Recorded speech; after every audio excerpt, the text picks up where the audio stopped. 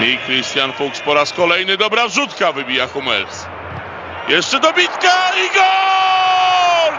Tomasz Debel! 1 do 0 dla Bochum!